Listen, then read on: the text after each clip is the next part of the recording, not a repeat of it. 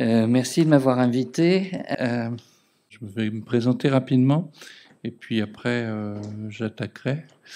donc je m'appelle Christophe Houpert, j'ai 61 ans, bientôt 62 et, et je suis pasteur dans l'église protestante unie, vous savez, la, vieille église quoi, hein, à Seloncourt. Alors je vais commencer par un texte un texte euh, euh, du livre de Samuel. C'est l'appel de Samuel, hein. chapitre 3. Une nuit, le prêtre Élie, qui était devenu presque aveugle, dormait à sa place habituelle. Samuel aussi dormait.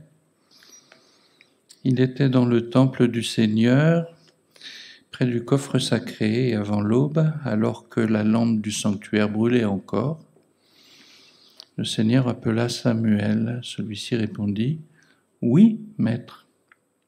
Puis il accourut auprès d'Élie et lui dit Tu m'as appelé, me voici. Je ne t'ai pas appelé, dit Élie. Retourne te coucher. Samuel alla se recoucher. Une seconde fois, le Seigneur appela Samuel. L'enfant se leva et revint dire à Élie, Tu m'as appelé, me voici. Non, mon enfant, répondit Élie, je ne t'ai pas appelé. Retourne te coucher.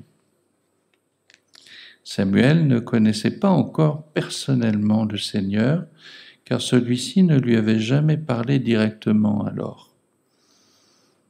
Pour la troisième fois, le Seigneur appela Samuel. Samuel se leva, il revint trouver Élie et lui dit, Tu m'as appelé, me voici.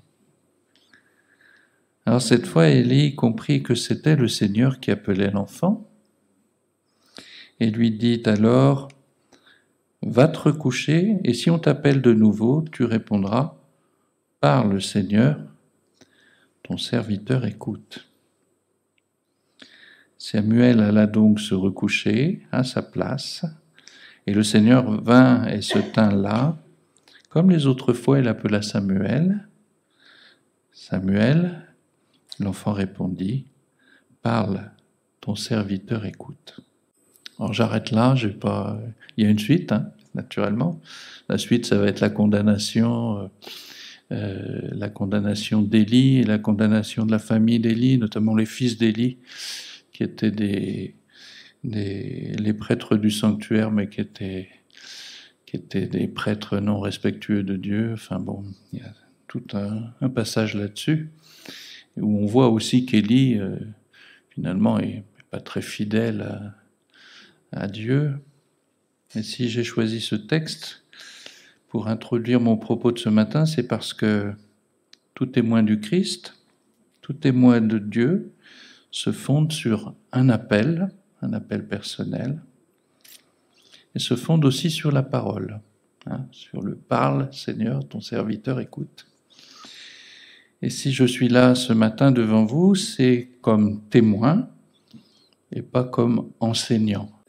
Pour paraphraser l'apôtre Paul s'adressant aux Romains dans sa lettre, je viens non pas afin de vous affermir dans la foi, mais plutôt afin que nous soyons ensemble encouragés par la foi qui nous est commune, vous et moi. Témoin d'un appel, donc, voilà. Alors, euh, je peux vous en parler cinq minutes.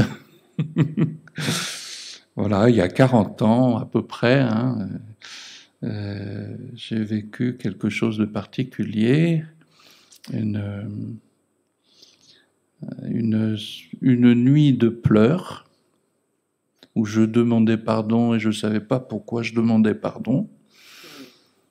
Et, euh, puis au matin, euh, je ne suis pas allongé, mais j'étais allongé dans mon lit.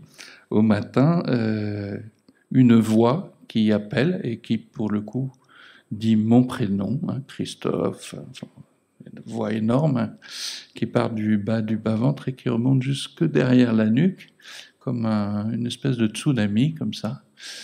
Euh, voilà, et, qui à la fois était ma plus grande frayeur de toute ma vie, et puis euh, la plus grande jouissance de toute ma vie, hein, même les questions, jouissances sexuelles n'arrivent pas à ce niveau-là.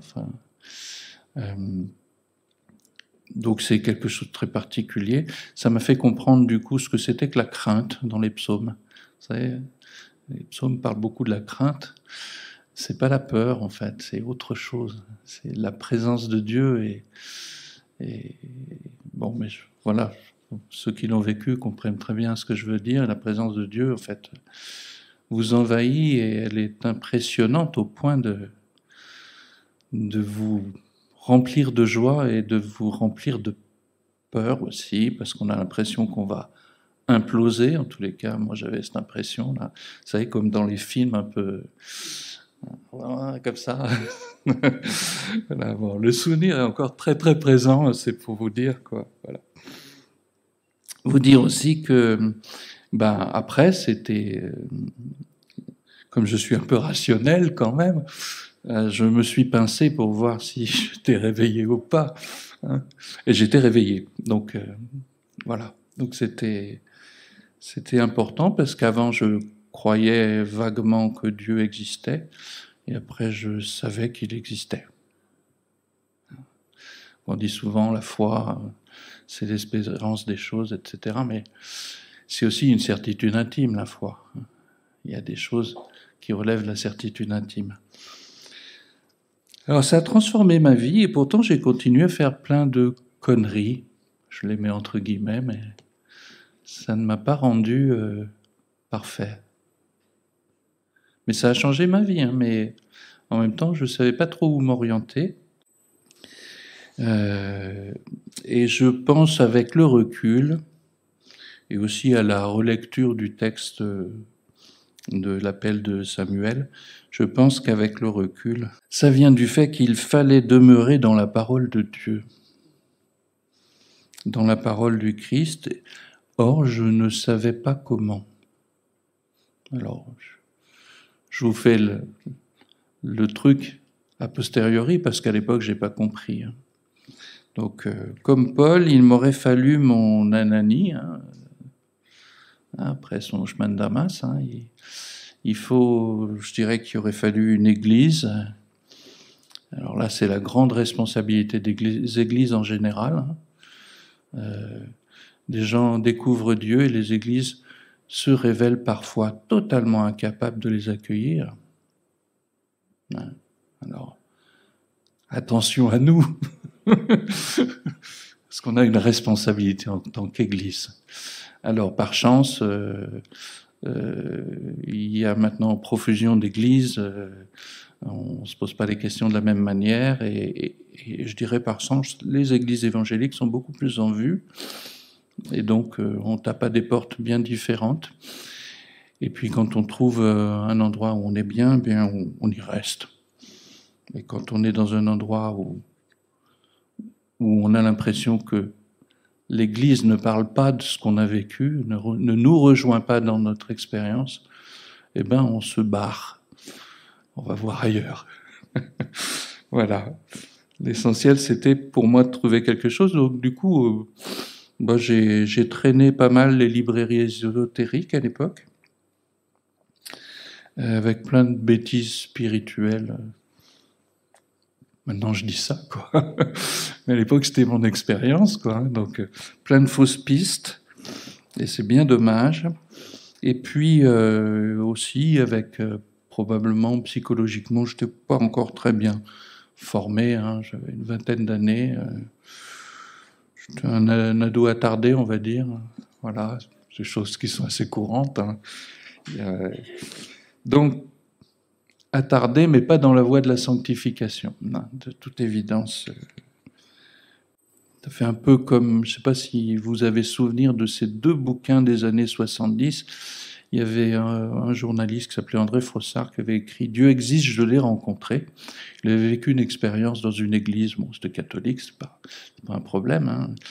Et puis euh, une éditrice qui s'appelait Françoise Verny qui disait Dieu exige, enfin qui avait fait un livre aussi, Dieu exige, je l'ai toujours trahi. Et moi j'étais plutôt sur Dieu exige, je l'ai toujours trahi. Voilà. Alors j'espère que c'est un peu moins vrai aujourd'hui, mais je pense qu'on le trahit toujours un peu malgré tout. Voilà. Le deuxième point qui m'a qui me parlait pour le, le texte que je vous ai lu, c'est la place d'Élie. Parce qu'Élie est presque aveugle, Élie est, impur, euh, il est infidèle à Dieu, enfin, c'est pas tant lui que ses, ses fils, mais lui couvre ses fils, en fait, d'une certaine manière. Et pourtant, c'est lui qui va dire à Samuel de découvrir euh, la parole de Dieu. C'est lui qui lui donne le moyen, qui lui dit euh, d'être à l'écoute et de répondre Parle, ton serviteur écoute. Et ça, je trouvais intéressant parce que euh, la parole qui nous fait avancer sur le chemin de la sanctification n'est pas toujours donnée par des gens parfaits. Euh, voilà.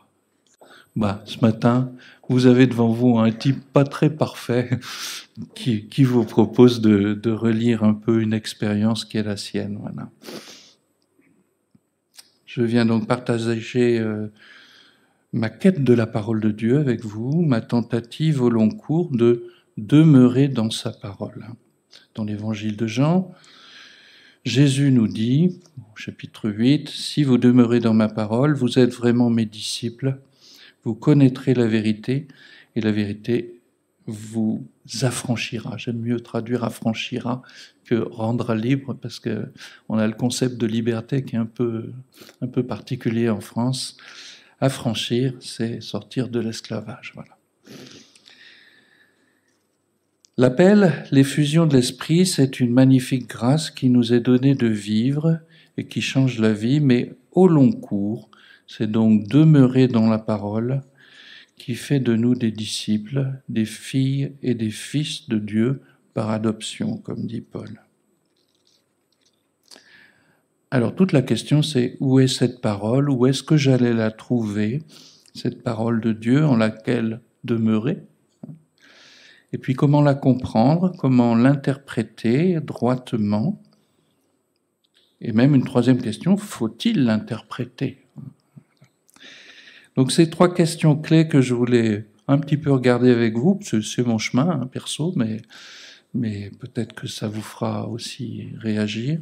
Répondre d'abord à la première question, où est la parole de Dieu?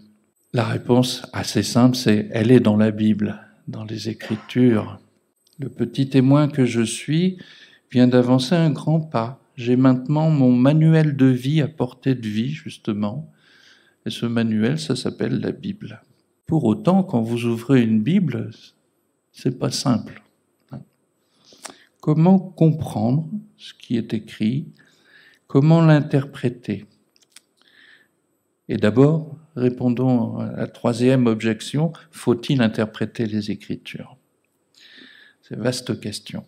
Certains vous diront que la Bible se comprend par elle-même et qu'il n'y a pas à l'interpréter, qu'il suffit de la lire pour en appréhender la mise en pratique. Mais Jésus nous dit le contraire. À la question faut-il interpréter la Bible? Jésus répond deux choses.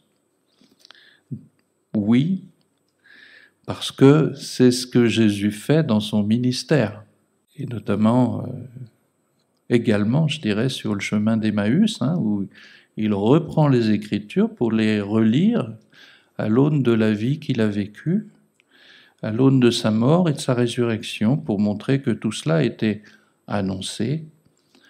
Donc, on interprétera l'Ancien Testament nécessairement à l'aune du Nouveau Testament et du message de Jésus. Logique. Et il répond oui encore dans le passage sur le premier commandement et la question du bon samaritain, enfin sur la parabole du bon samaritain. Alors je prends le passage de Luc, hein, versets 25 et 26 du chapitre 10. Un spécialiste de la loi se leva et lui dit, pour le mettre à l'épreuve, Maître, que dois-je faire pour hériter la vie éternelle? Et Jésus lui dit, Qu'est-il écrit dans la loi, comment lis-tu? Comment lis-tu? Il y a deux choses donc. Il faut lire et il faut comprendre comment lire? Donc il faut interpréter. En résumé, jusque-là, eh bien je dirais que la Bible est parole de Dieu, mais elle est une parole à interpréter parce que Jésus l'a fait et parce qu'il l'a demandé de le faire dans ce fameux Comment lis-tu? Alors, remarquons au passage que une lecture littéraliste, fondamentaliste de la Bible est en soi une interprétation. Il n'y a pas de non-interprétation de la Bible. Hein. Le fait de le lire au pied de la lettre comme ça, c'est déjà une interprétation. Alors reste la question centrale, comment interpréter droitement, parce que si on veut être sur le chemin de la sanctification, c'est bien ça qu'il nous faut, interpréter droitement. Alors pour m'orienter hein, dans ma petite histoire personnelle, j'ai cherché à savoir ce que les églises en disent. Je dirais plutôt les grandes familles d'églises. Et j'ai d'autant plus été invité à le faire. Et là, je vais, me permettre de raconter une anecdote, mais euh, à cause de cette anecdote. Alors c'était, c'était quand j'étais en stage en 2012, en stage de pasteur à Lyon, et euh, il y avait une réunion œcuménique avec un groupe de jeunes professionnels. Et dedans, il y avait une jeune femme orthodoxe. Et puis, euh, elle vient me trouver. Donc, elle savait que j'étais. À l'époque, c'était l'Église réformée de France, hein, c'était pas les PUF. Elle vient me trouver, et puis elle me dit euh, les, les, catholiques, ils ont la tradition comme clé d'interprétation. Les évangéliques, euh, ils ont une lecture littéraliste. Et vous, les luthériens réformés à tendance libérale, hein, euh, votre clé de lecture, c'est votre opinion. Non, mais vrai. ah, ça m'a un peu, un peu choqué parce que je dis, euh, euh, voilà, je j'avais pas choisi par hasard mon église, mais bon, je me suis dit, tiens, là, il y a un truc. le risque dans nos églises un peu à tendance libérale, je dirais, c'est certainement de faire de notre opinion l'instance suprême d'interprétation. Je pense qu'il faut se méfier de ça. Donc je suis allé rechercher un peu euh, comment je pouvais me construire ce qu'on appelle une herméneutique, hein, une clé, une, clé d'interprétation euh, pour, pour l'ensemble de la Bible. Et rechercher ce que les églises en disaient et quel était leur rapport à la Bible. Alors, je ne connais pas le monde orthodoxe, j'en parle pas du tout, hein, je laisse de côté, mais pour faire court, je vais évoquer euh, l'Église catholique romaine, les églises évangéliques, c'est un peu réducteur parce qu'il y en a tellement de différentes qu'il faudrait rentrer dans du détail, et puis euh, les églises euh, à tendance libérale, je dirais, historique à tendance libérale, puisqu'elle est aussi historique, mais à tendance évangélique, euh, voilà, bref. Alors, Église catholique romaine, qu'est-ce que j'ai trouvé? Ça se trouve dans, dans une constitution de Vatican II euh, qui s'appelle Dei, Verbum, hein, donc ça porte bien son nom, hein, Verbe de Dieu, la parole de Dieu. La parole de Dieu est contenue dans les Écritures, c'est intéressant, c'est-à-dire que les Écritures ne sont pas en soi parole de Dieu, mais la parole est contenue dans les Écritures. Il y a une grande place pour l'interprétation faite, se fait par l'Esprit Saint, euh, mais euh, cette interprétation par l'Esprit Saint est comprise dans la succession apostolique, c'est-à-dire qu'en clair, le, les évêques et le pape ont l'Esprit Saint, par succession. Et donc, en fait, c'est le magistère qui, qui, éclairé par l'Esprit Saint, donne la bonne interprétation de, de la Bible. Voilà. C'est ça. Et puis, euh, c'est un peu réducteur ce que je dis, mais. Pardon. Et puis, il y a une recherche du sens littéral, et puis, à partir du sens littéral, une ouverture sur un sens plus spirituel. Et une des modalités d'interprétation chez nos frères catholiques, dont j'ai fait partie longtemps, hein, Euh, c'est ce qu'on appelle l'analogie de la foi, c'est-à-dire que euh, ça vous trouvez la référence dans, dans l'Épître aux Romains au chapitre 1er, le verset, le verset 6 euh, du chapitre 12, pardon. Euh, ça veut dire l'analogie de la foi, c'est une traduction grecque euh, proche des termes grecs, mais la, la seconde 21 va traduire en accord avec l'ensemble de la foi. C'est-à-dire que la globalité de la foi explique, permet d'interpréter un passage. Ou, dit dans le sens inverse, c'est un passage ne peut pas venir contredire l'ensemble de la, révélation expliquée dans, dans la totalité de la Bible. Voilà. Donc, euh, donc voilà, chez les, chez les catholiques, on va dire que c'est ça, mais on voit bien qu'il n'y a pas, il a, pas calcage euh, obligé de Bible égale parole de Dieu. Alors dans le monde évangélique, euh, c'est plutôt, je dirais, la déclaration de Chicago, la première, hein, enfin les, déclarations de Chicago qui comptent, euh, mais surtout, je dirais, celle qui a posé les choses en, en, 1978, dont je vous lis un résumé rapide, mais en cinq points. Dieu qui est lui-même la vérité ne dit que le vrai, il a inspiré l'écriture sainte pour se révéler lui-même par elle aux hommes perdus, pour se révéler en Jésus-Christ comme le Créateur, le Rédempteur et le Juge. L'écriture sainte est le témoignage que Dieu se rend à lui-même. Voilà, je ne lis pas tout parce que c'est un peu long, mais euh, ça porte sur l'inspiration par l'Esprit Saint des Écritures dans leur totalité sur ce qu'on appelle l'inhérence de la Bible, c'est-à-dire la, Bible n'est, il n'y a aucune erreur dans la Bible de tous ordres, et puis euh, que ce soit, et que la mise en cause de l'inhérence, euh, la relativisation, la relativisation de l'inhérence euh, ne permet plus à l'individu de, de, trouver la vérité, puisque on ampute la vérité de quelque chose à ce moment-là, et on ne peut plus euh, avoir accès à la parole de Dieu pleinement à ce moment-là.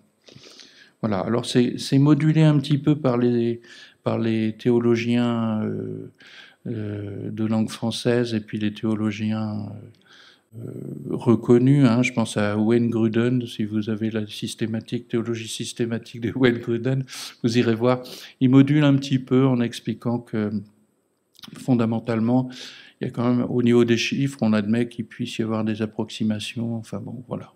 Au niveau des jours aussi, euh, dans la création, on admet que euh, les jours soient pas tout à fait des jours. Enfin, voilà. Mais, mais on est quand même sur des positions extrêmement strictes de la question biblique sur l'infaillibilité et l'inhérence de la Bible, euh, voilà, euh, sur l'inspiration de la Bible dans sa totalité, et sur l'inspiration, et ça c'est toujours bon de le, noter, de la réception aussi, hein, le témoignage intérieur de l'Esprit Saint qui nous fait lire la Bible en vérité quand on, quand on la lit.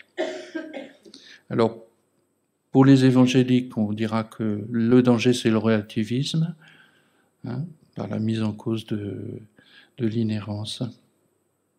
Voilà. Et puis alors, les positions luthéro-réformées, je dirais libérales, donc mon Église. La Bible n'est pas parole de Dieu, mais elle se fait parole de Dieu par le témoignage intérieur de l'Esprit Saint. Donc là, on retrouve le témoignage intérieur de l'Esprit Saint qui est à peu près commun à tout le monde. Mais euh, on affirme euh, clairement que la Bible n'est pas parole de Dieu en soi. Les Écritures, hein, c'est un peu comme chez les catholiques, contiennent la parole de Dieu, mais euh, on ne fait pas le parallèle exact. Et puis après, on cherche. Quelle est la clé de nos églises à tendance libérale? Et là, j'avoue que la clé, euh, bon, en fait, on se rend compte que on est passé d'une église qui était je dirais il y a un siècle et demi, la clé c'était la critique historique. Et on est passé aujourd'hui sur une clé de lecture qui est très évanescente, extrêmement basée sur, euh, euh, sur euh, le champ existentiel, c'est-à-dire ce qu'on vit, voilà. Mais c'est un peu limité parce qu'il y a toute une verticalité de la relation à Dieu dans la Bible qui fout un peu le camp si on est juste sur ce registre-là, et qui tente à faire euh, finalement du Christ une philosophie plus, plus que plus que qu'un Dieu, voilà. Et ça semble donner raison à la Convention de Chicago sur ces points-là, parce que effectivement, on se demande en fait où est-ce qu'on où est-ce qu'on surnage, voilà. Avec un troisième point important dans nos églises, de toute façon, la Convention de Chicago était aussi marquée par euh, le devoir d'être une réponse par rapport à ce qu'on appelle la contextualisation. C'est-à-dire que c'est la contextualisation, c'est une approche des textes qui consiste à remettre le texte dans son contexte et à dire le contexte a changé, donc maintenant euh, on s'autorise à interpréter différemment.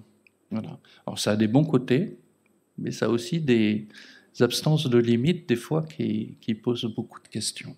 Voilà, donc vous avez votre petit Christophe, votre frère en Christ, qui se retrouve euh, relativement pas démuni, mais tiraillé entre l'ensemble de ces tendances. Je suis marqué par un sentiment personnel, donc un sentiment n'a qu'une valeur subjective, et par des aspects de théologie qui me paraissent incontournables. Alors, donc ça c'est plus objectif pour moi. Sentiment personnel, c'est que l'inhérence de la Bible devrait être un horizon. Je pense qu'il ne faut pas perdre de vue de ça. C'est étrange de dire ça quand on vient d'une église euh, comme la mienne, mais je pense que c'est important de, de défendre l'idée que la Bible euh, n'a pas d'erreur en soi. Donc un horizon de foi.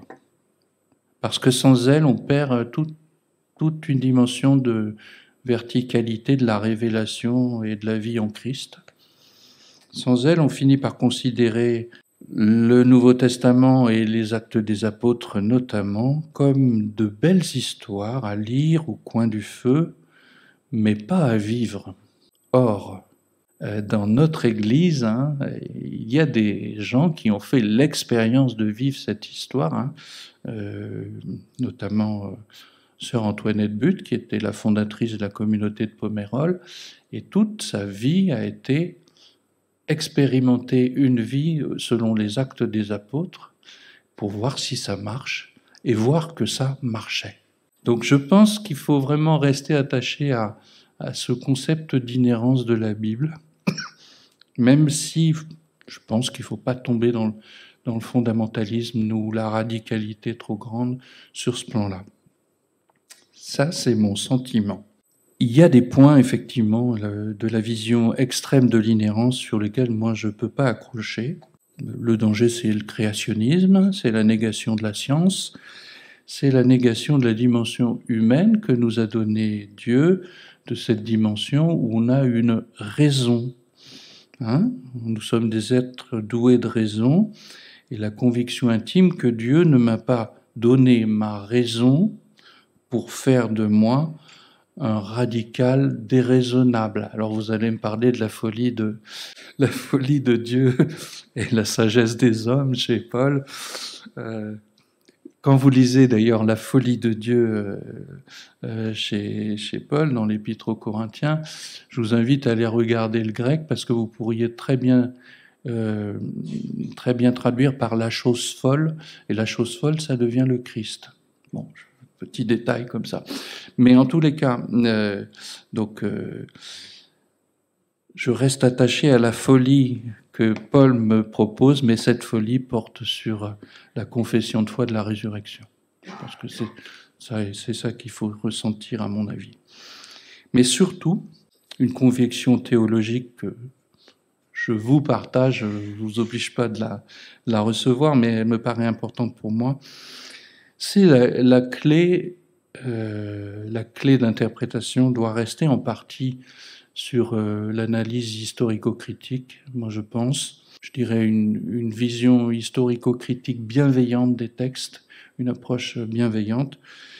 Euh, je, vous explique euh, ce que j'entends par là. Alors pourquoi l'histoire est si importante à mes yeux? Euh, et l'interprétation doit intégrer ça Parce que nous confessons le Christ incarné, l'incarnation de Dieu en Jésus-Christ, l'incarnation sur notre terre et dans notre histoire, et que naturellement, si les textes bibliques ne sont pas historiques, ça pose problème, puisqu'on le confesse dans notre histoire. C'est une approche donc historico-critique de la Bible fait sens à mes yeux, en préalable à l'identification de la parole de Dieu à l'intérieur de la Bible. Tout ce qui est manifestement contradictoire d'un point de vue historique entre divers textes doit être noté. J'ai pas trouvé beaucoup de choses contradictoires, pour être tout à fait honnête. Mais j'en ai trouvé une. Pardon si ça fâche des gens, hein.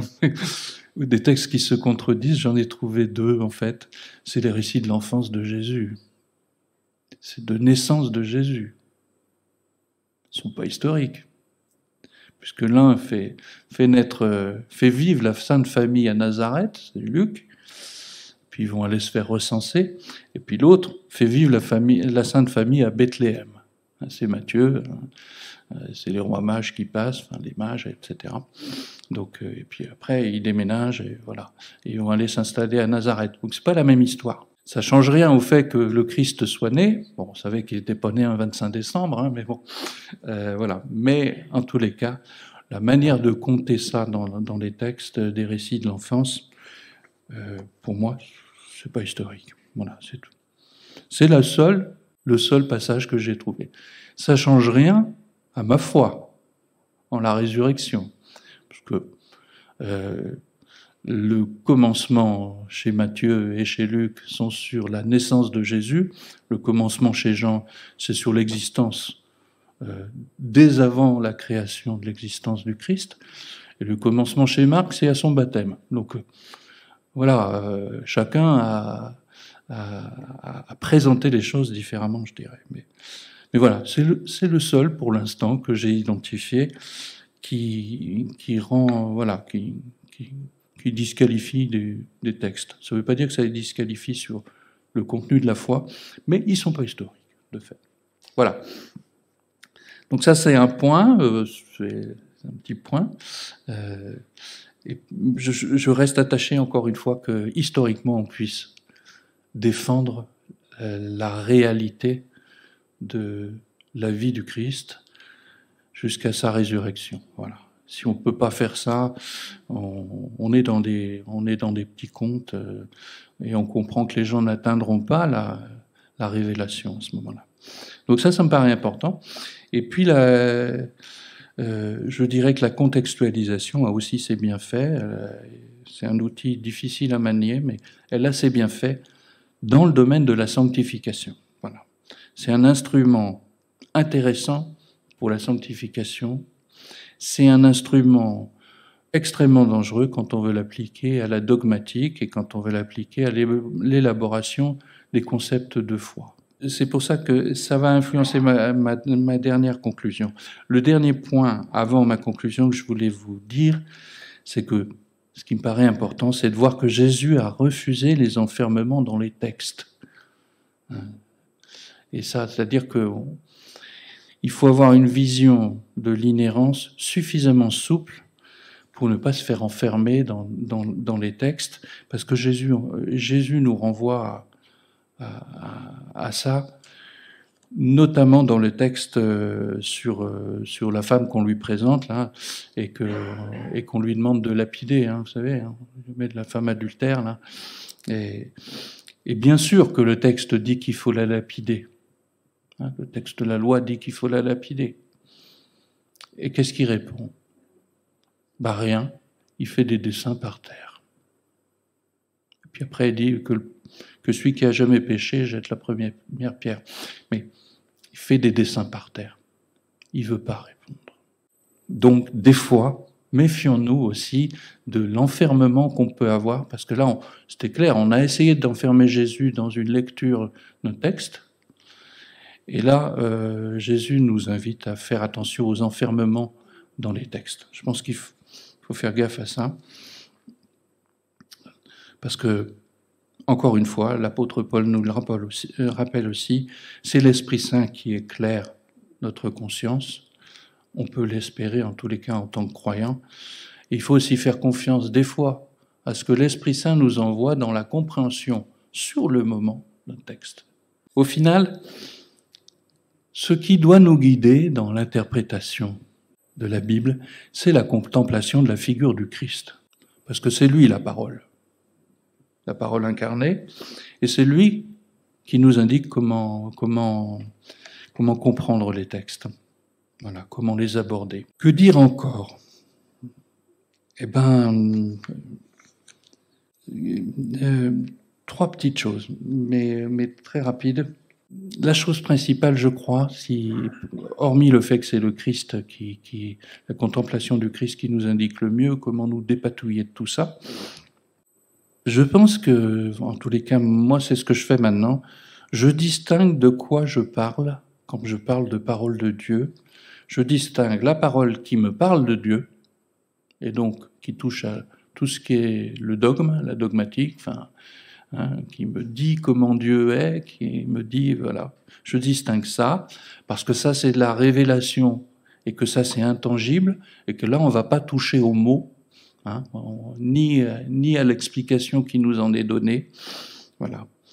Et je le distingue de la parole de Dieu qui édifie le disciple, la parole qui le conduit sur le chemin de sanctification dans les pas de Jésus. Parce que là, c'est autre chose. On est confronté à une lecture sur notre chemin de sanctification. Donc le socle de la révélation ne bouge pas, ça on est d'accord, mais euh, le vécu de certaines expériences de vie à partir de la, de, la parole qui nous est donnée, hein, ça, c'est autre chose. Parce que l'Esprit Saint ne nous dit pas toujours la même chose. Faites l'expérience, vous l'avez sûrement déjà faite, mais des fois, vous passez sur des textes, vous en avez une compréhension, et puis certains jours, par rapport à ce que vous vivez dans votre vie, eh ben, l'Esprit Saint vous indique une autre compréhension ou un autre angle d'approche qui fait qu'on comprend les choses différemment par rapport à ce qu'on est en train de vivre. Voilà, donc moi je vous invite à distinguer les deux. Maintenant c'est ce que je fais. Hein. Je bloque pas, sur, je bouge jamais sur le contenu de la révélation. Ça c'est un socle indéboulonnable. Mais par contre, dans les prescriptions de la, de la parole pour moi, eh ben je laisse l'Esprit Saint euh, avancer pour me dire des choses des fois. Voilà, par exemple. Euh, et je bouge pas même quand ça me gêne. Hein. Je veux dire sur les fondamentaux. Je prends un exemple très simple. Le divorce. Ça reste une écharde pour moi, puisque je suis divorcé et que je vois la condamnation que Jésus en fait. C'est pas pour autant que je vais que je vais changer ce que Jésus dit, parce que ça m'arrange pas. C'est là. Voilà. Voilà. Donc ça, je m'en remets à sa miséricorde sur même si je sais que mon ex-épouse est bien plus heureuse aujourd'hui sans moi, même si je sais que on est heureux avec euh, Nadine et que ça fait sens, il n'empêche que c'est condamné dans le texte. Donc, et je peux pas, voilà. Bon. Même si je me rends compte euh, à l'étude des textes euh, et des paroles de, de Jésus que une, des raisons pour lesquelles il condamne, c'est quand même pour le statut de la femme, Hein, qui était, le guet, c'était un truc absolument scandaleux qui faisait que la femme devenait adultère. Enfin, il fallait qu'elle trouve un autre gars. Hein, voilà. Euh, donc, euh, mais il n'y a pas que ça. Il y a euh, ne pas séparer ce que Dieu a uni, hein, chair de sa chair, etc. Donc, des fois, on est en porte-à-faux avec la parole, mais c'est pas une raison pour la changer. C'est comme ça. Ça crée en nous des aspérités qui nous font demander à Dieu de nous pardonner qui on est et qui nous rendent un petit peu humbles dans notre approche de l'interprétation de la Bible. Elle nous échappe toujours un peu. Amen.